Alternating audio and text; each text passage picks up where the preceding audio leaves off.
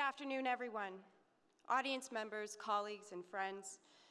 It is my pleasure to introduce the Honourable Navdeep Bains, Canada's Minister of Innovation, Science and Economic Development. Minister Bains has been a strong voice for Canada's business community. He is a passionate advocate for diversity and inclusion, and he promotes the advancement of women, cultural minorities, and other underrepresented groups to the highest levels of leadership in corporate Canada. Ladies and gentlemen, please join me in welcoming the Honourable Navdeep Bains.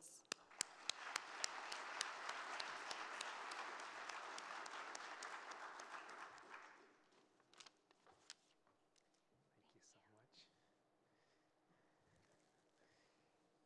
much. Uh, thank you very much, uh, Catherine, for that kind introduction, and good afternoon, ladies and gentlemen. And it really is a delight uh, to be here again at the Telecom Summit. And I was just speaking with uh, Mark earlier before. It's three years in a row, and it really is a testament to this incredible summit. And it really is a reflection of the fact that our government believes in the future of the telecommunications sector and what it means to the Canadian economy. And I can tell you right now, uh, and all of us understand and appreciate this from our own experiences, but the telecommunications sector is one that touches Canadians every day, not just delivering laughs and tears to our living rooms, but also business opportunities that it generates through innovation and the impact that it has on communities right across Canada. And it's no secret that this is an election year, hence why I'm wearing the green turban, because uh, there's been a bit of a surge there in that uh, party. Uh, but no, kidding aside, um, it's no secret that it's an election year, so I feel like I should report on something I committed to you when I was here in 2017. And I said my priorities would be to improve the coverage, quality, and price of telecommunication services for Canadians.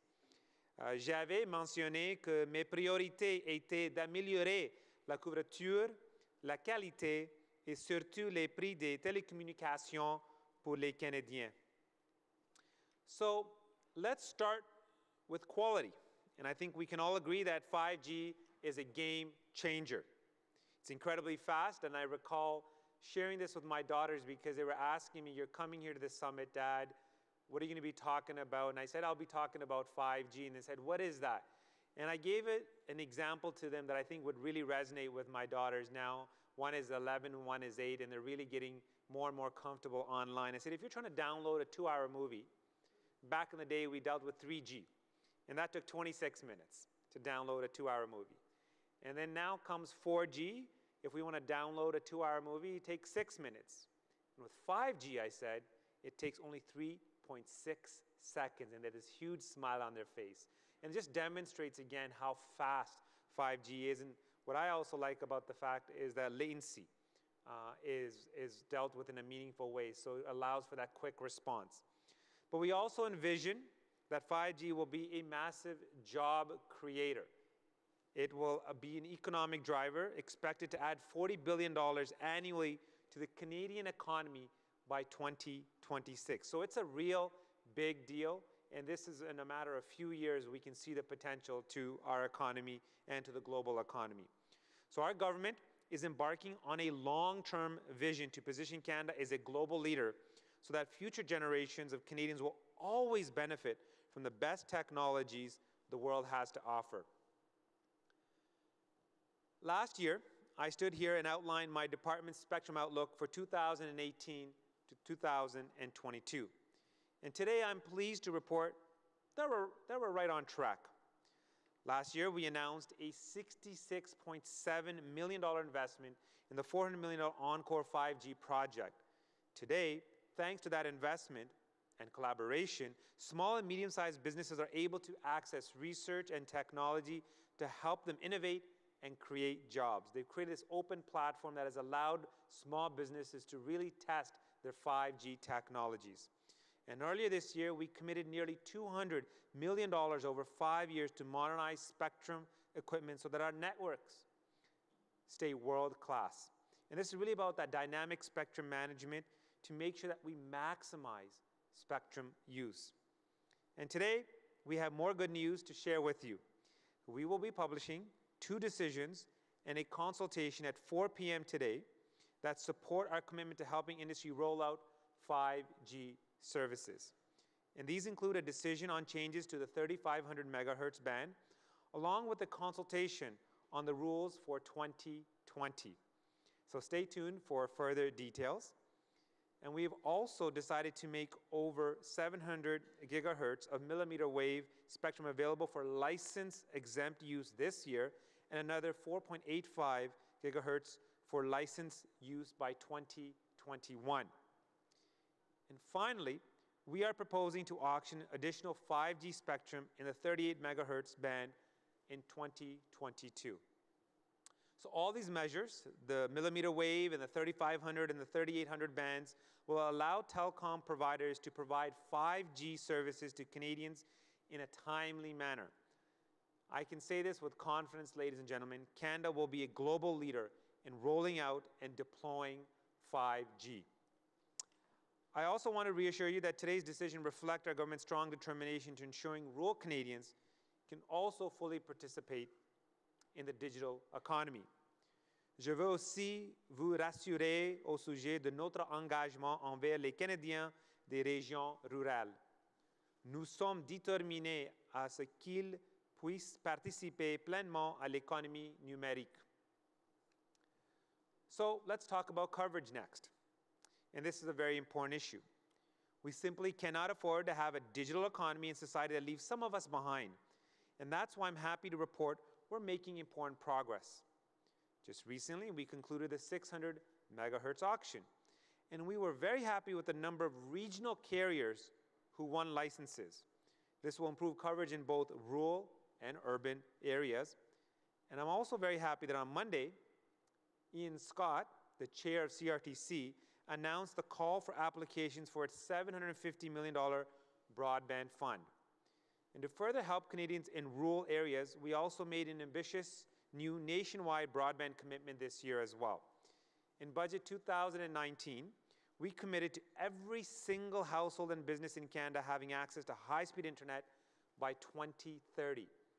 And that number also is going to be very high by 2026 because 95% of coverage will occur for households and businesses by then. So we have ambitious timelines to make sure that every Canadian has access to high-speed internet. Working with provinces and territories and industry, our government is planning to deliver up to $6 billion in new investments to achieve this target. So we are providing the financial resources required to achieve these targets. And this will build upon the success of our Connect to Innovate program, which will bring high-speed internet to more than 900 rural and remote communities, including 190 Indigenous communities as well. Finally, last fall, we announced the accelerated investment incentive investments made in fiber connectivity. So this is going to allow telecommunication sector to make these investments through better tax measures, which will provide the infrastructure that's needed in rural and remote communities as well.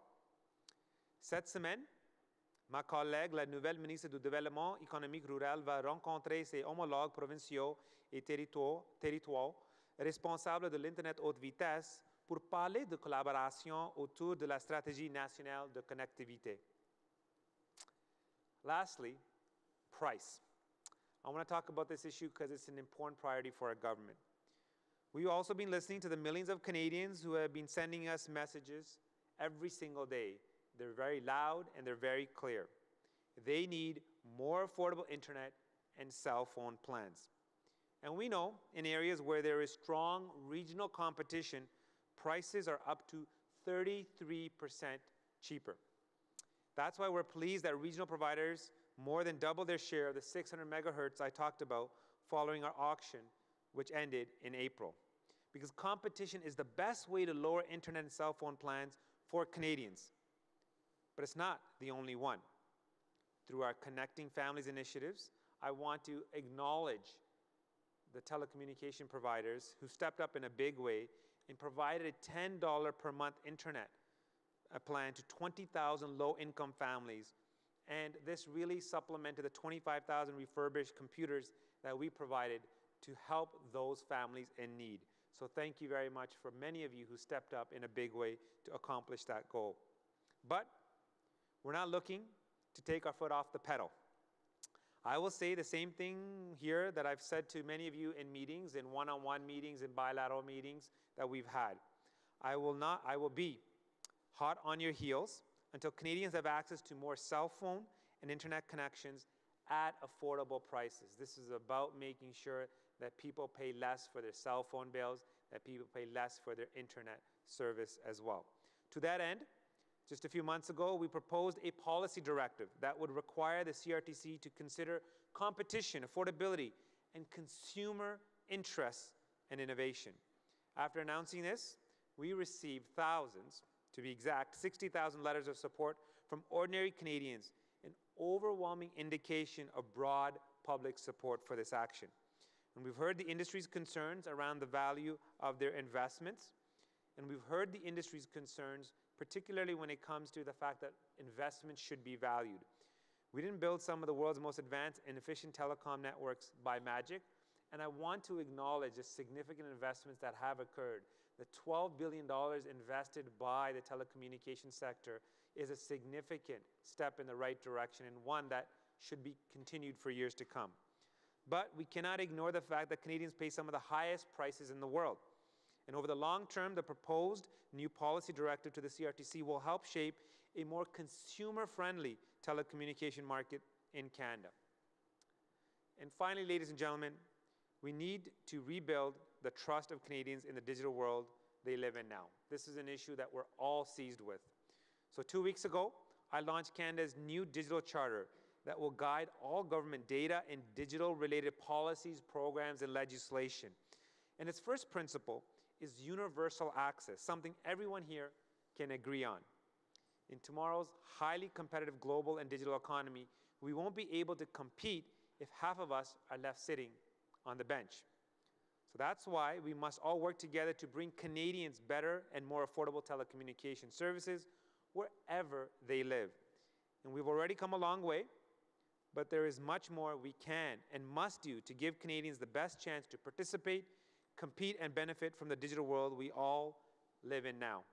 They deserve it, and together we can do it. Thank you very much. Merci beaucoup.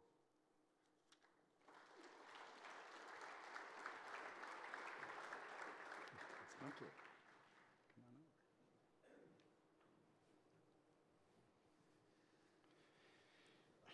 Thanks, man. I, I had no idea that the dress code was green. Uh, today I, I, went with red and purple. I only said that to Mark when I walked in. I said, Have you seen the polls? Have so, you seen the slight green surge? You never know, right? I, I thought going with red socks would curry some favor. I, I apologize for that. Um, you know, what, what I uh, appreciate is you going back to, as you said, your original remarks when you first started coming here and looking at the three-legged stool, the coverage, quality, and price. And um, I know the announcement's coming out at 4 o'clock, but is there anything more you can share with us in terms of uh, the spectrum piece? Because uh, when you speak about the 3500, one of the big concerns from companies like XplorNet is their use of 3500 today to provide rural coverage. And um, you know, transforming that for other use could have an impact on, on the coverage side. Yeah, so we're highly sensitive to that, and we did consult extensively with all the service providers, with different communities to get that feedback. And so we'll provide more detail at four, so I do apologize for the lack of detail at this moment. But fundamentally, uh, what that 3500 represents, the millimeter represents wave, as well as the 3800 by 2022, is a clear path of how we're going to provide spectrum auctions and roll out spectrum so that companies can be positioned uh, for deploying 5G in a manner that keeps Canada in, in the leadership role that it has when it comes to our quality networks and when it comes to uh, the fact that uh, we want to continue to also play a leadership role in this new emerging area called 5G. And, and you'll be sharing additional information in terms of the spectrum rollout? Uh, That's correct. So we'll be talking about uh, their 3500 and the 3800, uh, but particularly around the 3500 around the timelines and some of the, the, the next steps associated with that. Okay, um, that's it. I'm just shifting my notes around to recognize that some of this can't be talked about till the market's closed. Um, in terms of some of the discussions we've heard over the last three days, it, it's this tension between the three legs of the stool. Um, and the amount of investment that's been deployed already by the carriers and the amount of investment required in order to deploy the next generation uh, of equipment.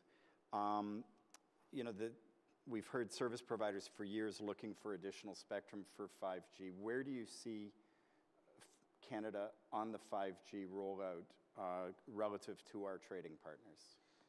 So I think you're right. There is a bit of a healthy tension uh, with respects to companies wanting to uh, continue to make significant investments, purchase spectrum, which is absolutely essential, and have access to spectrum. Uh, and then the, the challenge from our perspective as public policymakers is when we speak with Canadians, when I do town hall sessions, when I speak to my neighbors, when I'm engaged with them in conversations or letters that we receive, they talk about pain points around affordability and the cost of living. And one of the issues that comes up time and time again is our cell phone bills, our internet bills.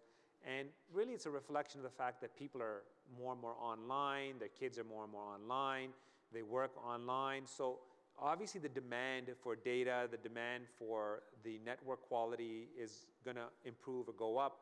And so, there's going to be cost pressures associated with that. But when they see how they compare to other jurisdictions, uh, and uh, that's when we as public policymakers recognize that we have a responsibility to also deal with the pricing issue as well. And so I'm trying to find that balance of saying, look, we want continued investment because we want to have the best quality networks. And we heard the feedback loud and clear the CRTC directive uh, consultations and the conversation that we had around investment. Uh, but at the same time, how do we make sure that we're, as I said in my remarks, more consumer friendly, more uh, consumer focused to bring down prices? And so that's going to be the healthy tension. We recognize that. And we're trying to find that that, that spot where we can continue to see prices go down, but not at the expense of investment. And I don't know where that is. And so you're always trying to, and so this is why I said in my remarks, I'll be hot on your heels. Don't assume that, you know, that our government, through maybe the fact that we use a 600 uh, megahertz auction, we had to set aside a 43% to promote more competition, or looking at the CRTC directive, or looking at the Connecting Families initiative, that we're always going to be looking at stuff in our toolbox to help drive down prices. And, but I just don't know where that tipping point will be for investments. And we're also very sensitive to that. But in the meantime, it's about affordability for our government.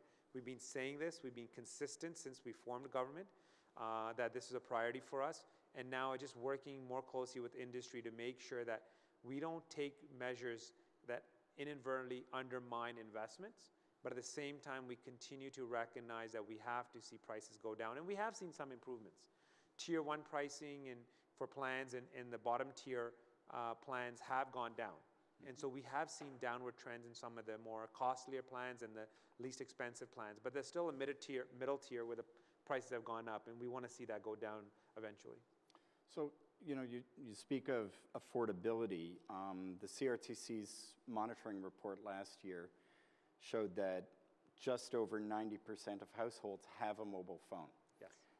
which means 90% of Canadian households get 12 phone bills every year, at least 12 phone bills, or you know, plus their TV bill, plus their internet bill. Yep. So uh, probably the industry isn't doing itself any favors by giving people a reason once a month uh, at a minimum to go, you know, I, I, want lower prices. But living in the greater Toronto area, like the, the two of us, we also have very high housing prices. Yes. We have very high prices for chicken and milk and eggs and, and dairy. And so obviously, all of us want lower prices. Um, is how do you balance the question of affordability versus just 100% of people, including those who work in the communications industry in this room, 100% of us want lower prices for virtually everything. So is it affordability? Is it a, a drive for lower price? So I think obviously, you know, quality should not be compromised, service should not be compromised, coverage should not be compromised. But at the same time, there's a recognition that telecommunication sector is a profitable sector, that we have created conditions with a few players where there is a good return on investment. And so uh, through technology, through efficiencies, through competition, we can see prices go down. And there's, there's two challenges. One is, of course, on the rural side of it, we want higher, higher speed internet connectivity. We were at 41% in terms of rural communities having access to high speed internet connectivity. After the Connected to Innovate program, we're at 50%. And a lot of that was partnership with the industry and with the providers and the carriers. So you stepped up in a big way. But then we have a socioeconomic challenge as well within urban centers where families that are struggling with housing and with milk and with the groceries and just with the cost of living, they, they, they, they're unable to get access to high-speed internet. And, and that's a challenge because vast majority of the homework that my kids receive online, for, uh, or kids get, is online. So it is, it is a, it's a much bigger issue than, oh, okay, I just pay a little bit more for my cell phone bill. It really is a quality of life, a quality of opportunity issue for people. And then for rural communities, it's the digital divide issue. They already feel like they're left behind because they don't have access to high-speed internet connectivity. And so the idea from our perspective is how do we deal with these issues? Better coverage, better price points, uh, through better policies to put pressure on the carriers to be more competitive and reduce prices. And that's where we're headed. I'm confident that we've seen that take place. Uh, but it's, it, make no mistake, it's not just about lower prices uh, for the sake of lower prices where people have poor networks, poor coverage. Uh, we recognize that we need to continue to see investments, and that's why we made changes to the accelerated capital cost allowance uh, policy in the fiscal update to provide better tax incentives for further investments by the telecommunications sector and the carriers by tripling the amount they can write off in the first year uh, in terms of their investment. So clearly we have looked at that. We also are going to engage Infrastructure Bank to play a more uh, meaningful role in providing financing support for some of these investments as well. We as a government are using taxpayers' money to provide a universal broadband fund to help provide some of the the, the finances needed to, to make the business case as well. CRTC has that fund. So the idea is it's all hands on deck. Uh, it's not only industry, government's willing to step up, provinces are willing to step up, territories are willing to step up, uh, but make no mistake, it really is though around the anxieties and the concerns you highlighted around families saying, look, it's really expensive, it's not a must-have, uh, it's, it's a must-have, it's something that we need to have, it's not a luxury, and how do we make sure that we have a, a smart set of policies? And that's what the CRTC directive is all about. That's fair. Um, I appreciate the response. I appreciate you also bringing up the Connected Families uh, initiative because uh, that was a project that you announced last year yes. uh, on, on the stage next door. And um, you know, frankly, of all of the initiatives that I've been part of over the last number of years, it's one of the ones I'm most proud of. Um, and you've been the minister uh, on this portfolio virtually for the, the entirety of this government. We're coming up to an election. As you look at your time as uh, the innovation minister, what are the projects that you're most proud of? So clearly, this one, connecting families, is very important as well uh, because providing that $10 internet uh, plan for families living in urban communities to 20,000 families is a big, big deal. These are families that get the maximum Canada Child benefit that are in financially very, very dire situation and that desperately need this support. And so we're really targeting the right people. And this is about governments sharing information uh, and doing it in the most appropriate way to provide maximum benefits for the most uh, important people that are, are falling through the cracks or people that are falling through the cracks um, in the past that now will have support. Uh, but for me, the Connected to Innovate program is very special uh, because I remember I've gone to many communities, the Matawa First Nation, Indigenous community, where they were literally in tears because high-speed backbone support and fiber infrastructure support was a matter of life and death to uh, many, many young people in the community who were struggling to study online, to be relevant online, and they had idle hands and they didn't know what to do, and now they feel like they've got some hope. So I would say those two programs in particular, and for me, as the minister responsible for innovation and economic development, I'm just stunned at the opportunities that exist with 5G. Uh, and that's why we actually came forward with the digital charter as well, because it's all connected. It's about how do we make Canada more competitive. And it really is about competitiveness if you look at 5G from my perspective. That's why we're so thoughtful about deploying spectrum in a strategic way to make sure we continue to be a global leader in the deployment and the rollout of spectrum, 5, uh, spectrum for 5G. And that's because there'll be 10 connected devices per person in a few years. That's billions of devices that'll, that uh, will exist that will generate tons of data. Many of you are aware of this, but 90% of the data that has been generated occurred in the last two years. And that was true the year before that and the year before that. And now with 5G and the Internet of Things and smart cities and smart farms and connected devices, that number is going to continue to explode. And it's important that we embrace that technology, deploy with our smaller and medium-sized businesses, because it'll allow us to be competitive going forward. Uh, and that is critical for our economic success as well. So that's one area from microeconomic policy, from developing, you know, a, advancing our innovation and skills plan that has a lot of potential. Which it actually leads into uh, the final area I wanted to chat with you about. We look at the number of devices and the amount of data being collected and what that means for all of our personal privacy. And um, the digital charter that was just released probably goes farther than we've seen from any government uh, in Canada in laying out priorities of vision for things. Where do you see regulation going in terms of monitoring the platforms that are so far operating without regulation? Yeah, I think it goes beyond platforms. I think it just speaks to every business. The telecommunications sector, for example, is in the data business. You collect vast amounts of data on your customers, uh, you understand them better than any time before, and you want to deploy that information and enhance the customer experience. What we want to be careful is for unintended surveillance activities that are done in a non-transparent way. So the digital charter first sets out principles. Universal access is the first one, so we talked extensively about broadband connectivity, high-speed connectivity, connecting families.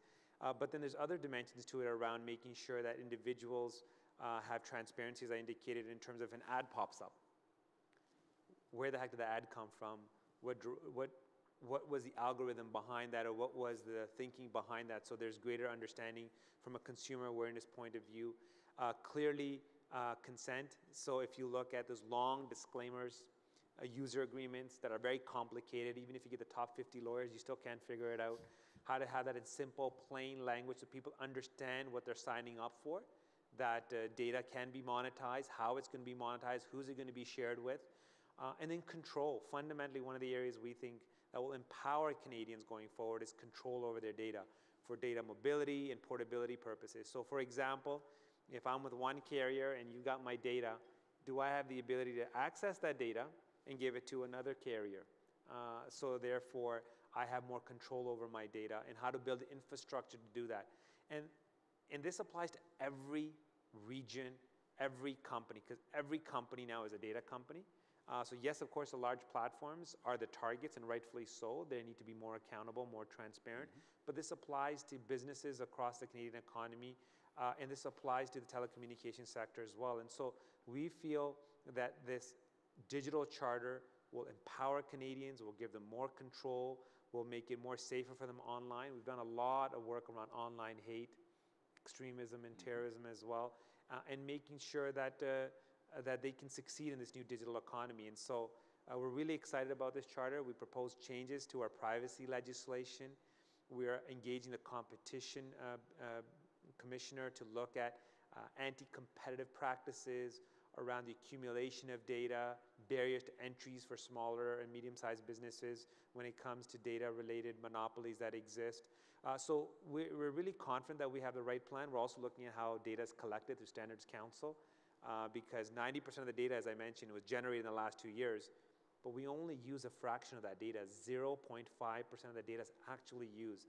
So imagine if we can have that data in a manner that's more usable, that, that can be better engaged for data analytics or for AI or for, for a variety of other reasons as well. So we're really excited about this, but fundamentally it's about building trust in this digital economy.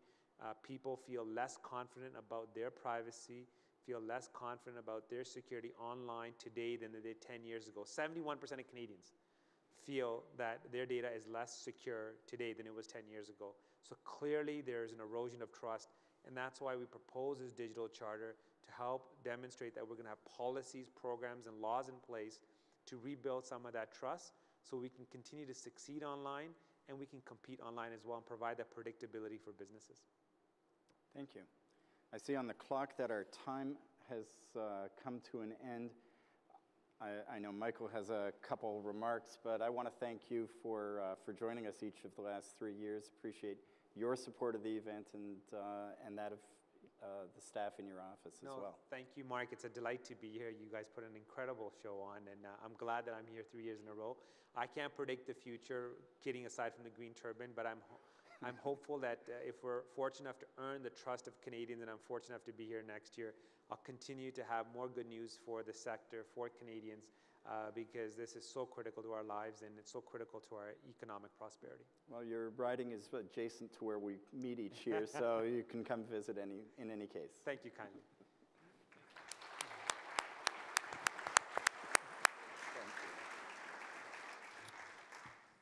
Thank you, Mark. Thank you, Minister Bains. I know that uh, you're probably pulled in at least uh, 12 different directions at all times every day. So we, we really appreciate your support and the, uh, the giving of your time. And not, not just for showing up and, uh, and saying a few high level niceties, but really giving substantive and, and meaningful remarks, actionable things. And we look forward to, uh, to 4 o'clock when we can uh, read, read more about it. So thank you once again. And whichever way uh, the election turns out, we hope you'll, you'll be back with us in, in future years. So thank you.